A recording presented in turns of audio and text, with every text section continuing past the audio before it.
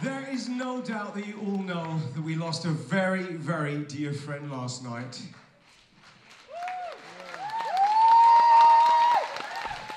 He was a man with a big heart, a bigger personality, and the iconic voice that made Jim Steinman's music fly.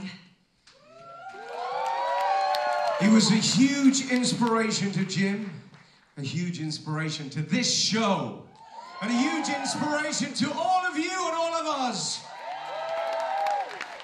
Tonight's show we've dedicated to his honor, and we promise you, Meat wherever you are, that we are going to keep the flame of rock and roll burning.